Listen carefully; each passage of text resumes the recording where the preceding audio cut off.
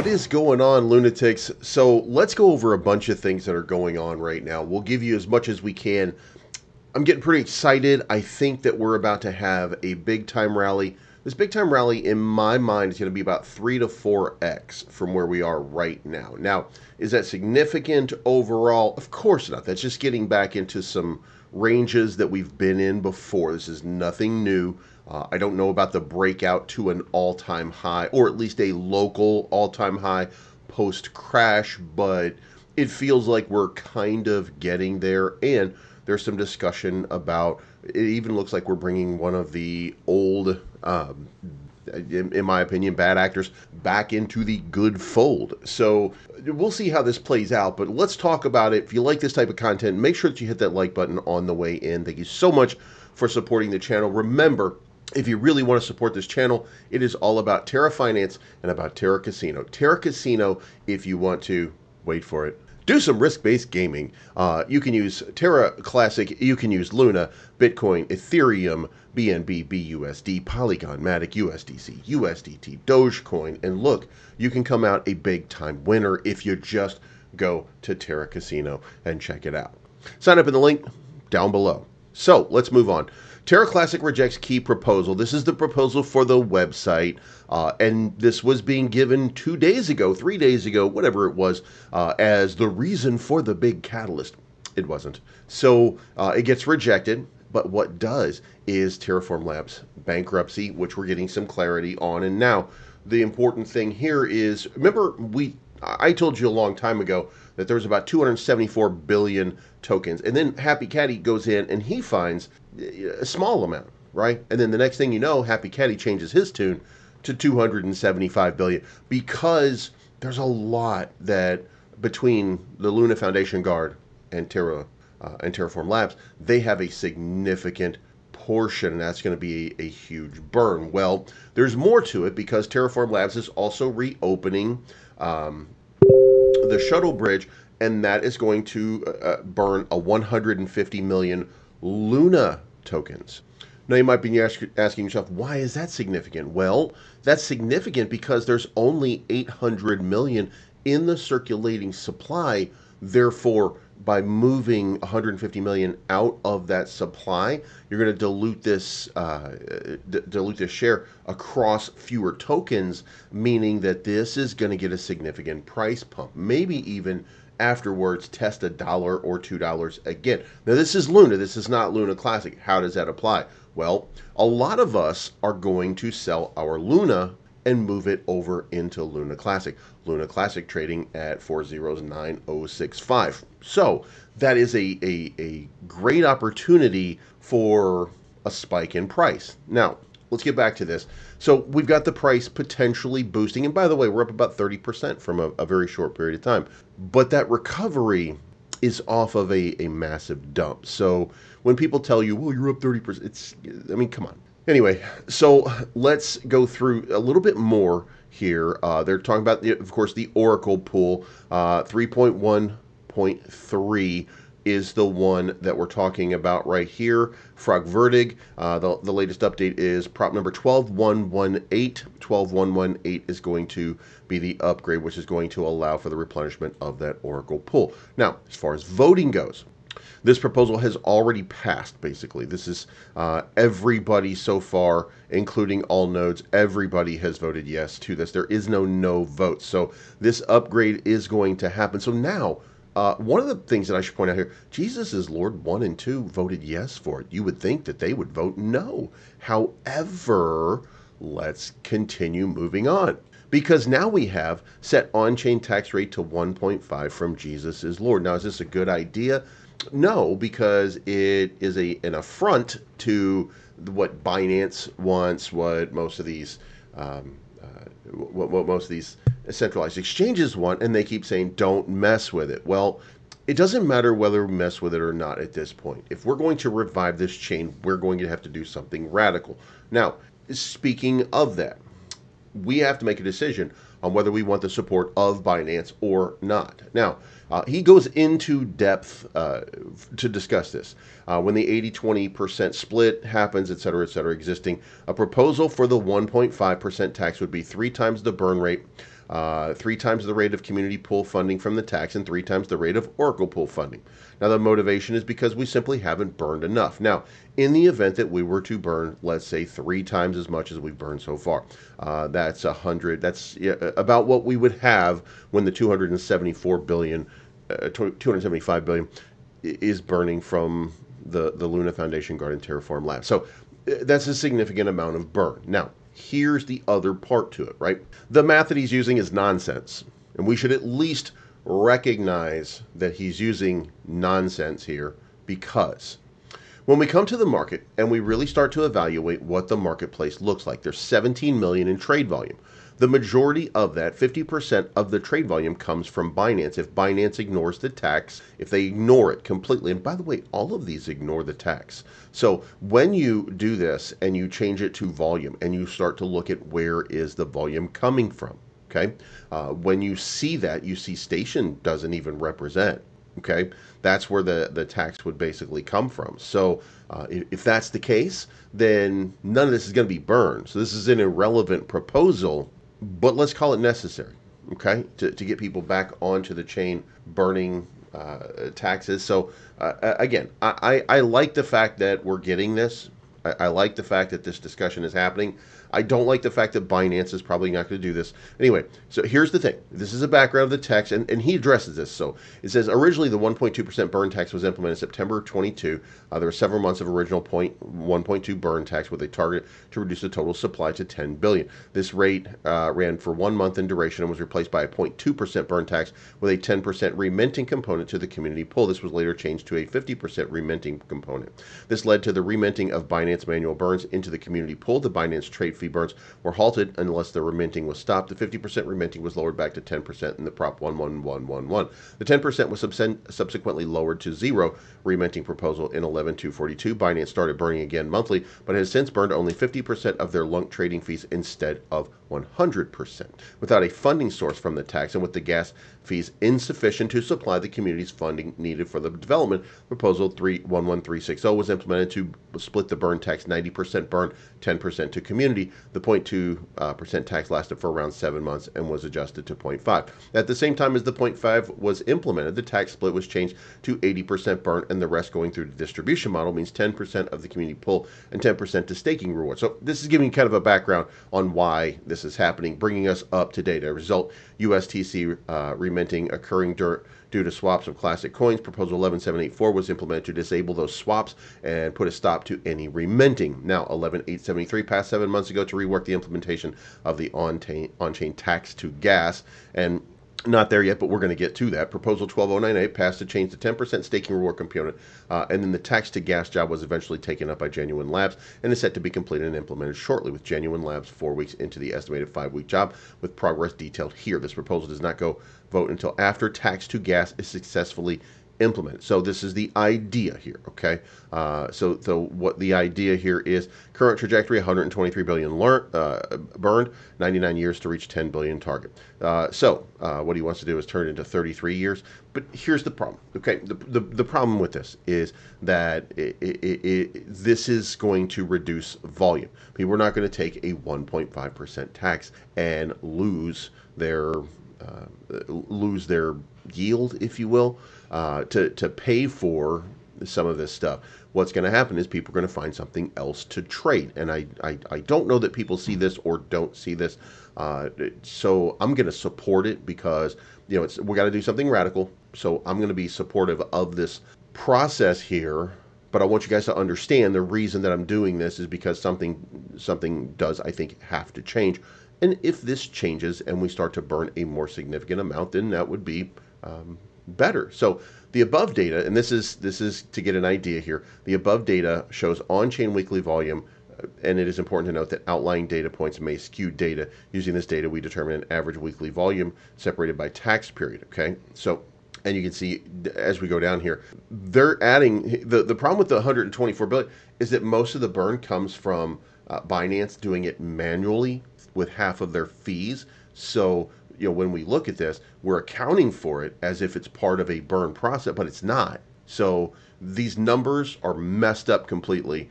None of this is real. Okay, none of this is um, uh, is, and you can see by the way. Uh, most of the burns happened a long time ago, and that was five weeks, 29 weeks, 55 weeks. So the sample on the 20 on the total time is 26 bill. No, it's not even close because look, this is what's burning over the last seven days, 350 million. So this is a pie in the sky sort of proposal, possibly necessary. So uh, tax revenue. Uh, then we talk about the community pool. Again, this is not up for debate or, or a vote at this point. This is just the conversation. We're going to dig deeper into this over the next couple of days. We'll look at this over and over again to decide whether or not this is the thing for us. But uh, he's gone pretty deep and in detailed, um, and, and, there's advantages here, uh, which we again we're going to talk about all this, and then there's some concerns, and he does address some of the concerns, and then that would be how you would uh, vote uh, yes or no or abstain, of course. Uh, so. Um, and then a lot of people are, are just kind of running through all of these different pieces and, and giving their opinion on it. And this is important to have this conversation. Again, I you know I don't know how this how do you, how you implement something that your your primary trader is going to ignore, right? Um, meme coins, which you know we apply kind of as a meme coin at this point. The meme coins, uh, the burns for meme coins, they don't apply to to the, the the exchanges. So nothing that they're doing over there they're going to ignore. So these burns, they're not going to happen. Uh, but we would have it in case you wanted to trade on Terraport.finance. If you are looking to trade meme coins or Luna Classic, this is your place to go. Terraport.finance is where you trade uh, Luna Classic. So uh, go over there and check it out today. They are the primary sponsor of this channel. What is going on, guys? You know, when I give it to you, it's important. Cryptonomy.finance just launched their own channel. This is a key financial sector for information every single day about what's going on in cryptocurrency and the broader markets. It's on Telegram and it's cryptonomy underscore community. Go check it out today you know staking is where it's at. There's panic in the market right now. Fear and greed index is down in the 20s right now, and you should know by this point it is a time to buy. So my first deposit right now, you guys know I'm bullish on it, API 3. I really think API 3 does a 100 to 300x in this next bull run. I just staked 4,000 API 3. My reward on that, 2,892 API 3. I think it's trading around $1.90 right now. So this is a big move for me. I think that this could produce some serious yield. Not to be outdone, you guys love Jasmy. I love Jasmy as well. I think it's going to be the biggest thing uh, in, in blockchain for gaming at some point, maybe even integrated into Sony.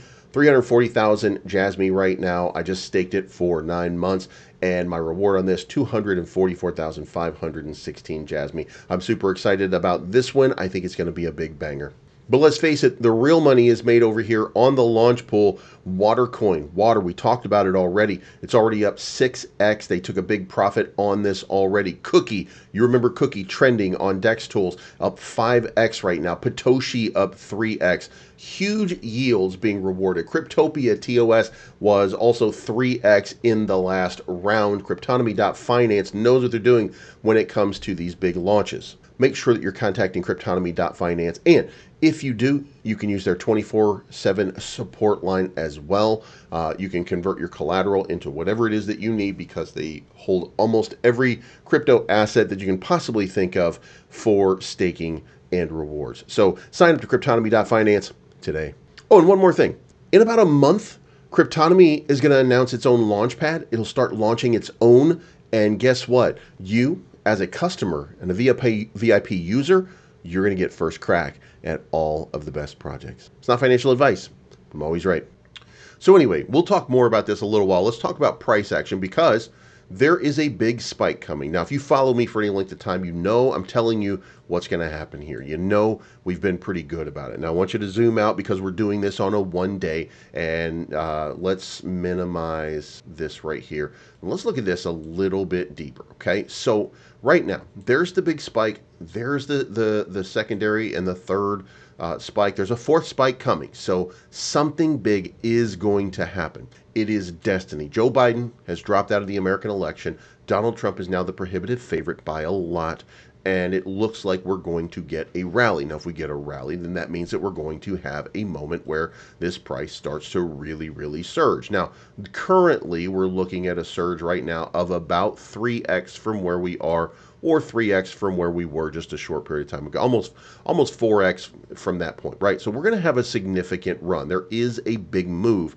Uh, it looks like in the chamber. Now, when we look at this more broadly, we can see that there's it's been a long time since we've had that move. Now, uh, the last time we had that big spike was right there. Uh, and if we just kind of uh, move that over here and look at it, we are pretty much overdue for that next big spike. Now, if you notice, by the way, uh, you can see that there was a groundswell of momentum kind of taking us to that point for that breakout. And then what ended up happening was we absolutely broke down because the market started dumping billions of dollars. Uh, I think it was $200 billion over the course of like two days, which took us way down here, put us into this situation. Now, we're in that situation. What have I been telling you guys? Let's zoom in because it's important now um, to, to recognize. Remember, I told you guys it was important to get into that channel again. Well, guess what happened? We got into that channel. Not only did we get into that channel, we created a descending flag into that channel for a couple days, and then we broke out above it. Now, it didn't maintain, it didn't continue. We got rejected almost at that three zeros number. So you know, we didn't have the enormous spike that we were looking for to get into that range, but we are kind of close. Uh, didn't drop to zero, still kind of sitting right here. Now, there's another explosive move coming. Now, let me zoom back out so you guys can see uh, in the longer term. Uh, what I told you guys was this move right here to here to here is establishing that this is real. Okay, so what are we going to look at to happen? Well, most likely scenario is one more back test right here, and then we're going to have a breakout, and then we're going to do a little testing right here, and then I think we're going to get just a crazy surge, a crazy surge taking us into the three zeros 22 sort of range. That's what's going to happen. Now, because we're getting into the phase of the market where breakouts are going to be imminent, then what I think is going to happen is we're going to get a surge above and we're going to get a test back down here for a little while.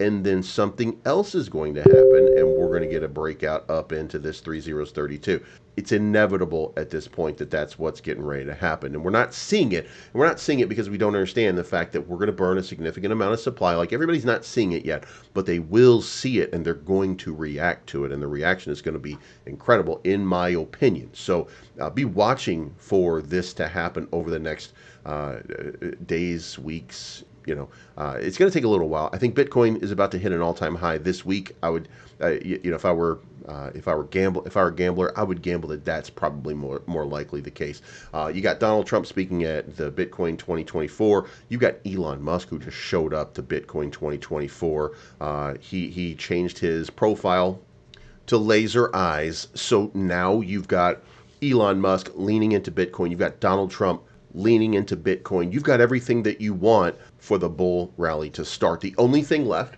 nine days from now, we're going to find out about the Fed rate. And if they cut rates 25 basis points, which I don't think that they will, but if they do cut it 25 basis points, this will kick off the golden bull cycle of this a little bit earlier than we anticipate. And we could be looking at a hundred to $150,000 Bitcoin before you know it there's a lot going on in the background. So just stick with us on this because it will cascade down to the rest of this market. So be watching out for just an epic move coming pretty soon. Now let's move on. All right, so Roddy down 50% on the day. This is a, this is a, bad day uh, overall for some of these meme coins. You can you can see right here. Some of them, even Volt had a nice little run for the day. Bio, nice little run for the day. But generally speaking, a lot of these things have been struggling. Uh, the governance proposal up again is uh, uh, that message software update, which 3.1.3 is going to pass through here. We've already gotten it's it's meeting the it's meeting the threshold. Um, as far as volume goes, we did look at this before. Uh, same thing over here with USTC volume just significantly down, kind of moving sideways for the moment. An explosive move probably coming very soon. Why?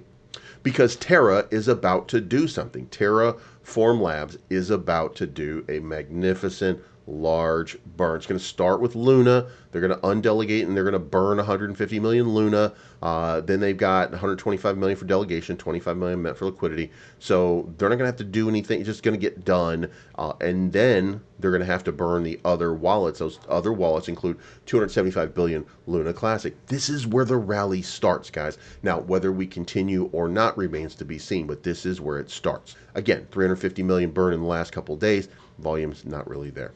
Now, in closing, let's get back over to Terraport.finance because this is important. Uh, we're going to come over here to our earn, and we're still staking over here. But we're going to go to the launch pad, and now you get 200 that you can claim. So we're going to claim that today.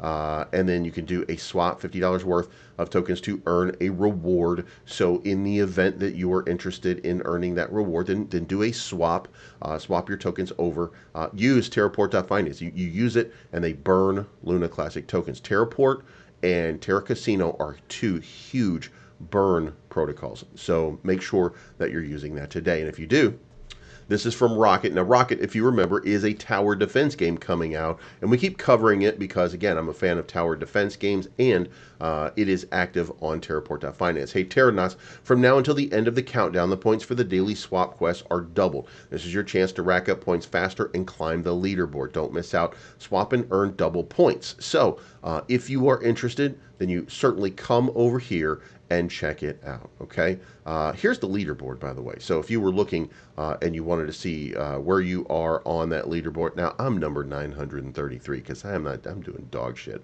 basically. Um, what what I probably should have been doing uh, is uh, doing that $50 trade every single day. But um, my job is here to show you. My job is not to take from you. So. Um, that's it for your update, guys. Uh, go check out Rocket on Terraport.finance. It's free money for you. It's free money for you, so um, get your free money. And uh, let's just enjoy the ride. This bull run is about to kick off exponentially. Um, at Terra Luna Classic is going to go along with it. But let me know what you think in the comments down below. Uh, remember, this is not financial advice. I'm always right. I appreciate each and every one of you. And we'll talk to you again very, very soon.